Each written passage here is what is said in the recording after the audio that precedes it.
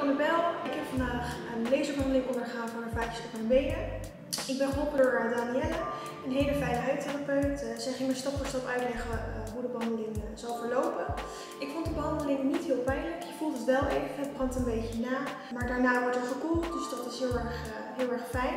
Ik raad zeker aan om een behandeling te nemen bij Huid Den Haag. Het is een hele fijne praktijk, mooie locatie en ja, ik ben heel erg fijn geholpen.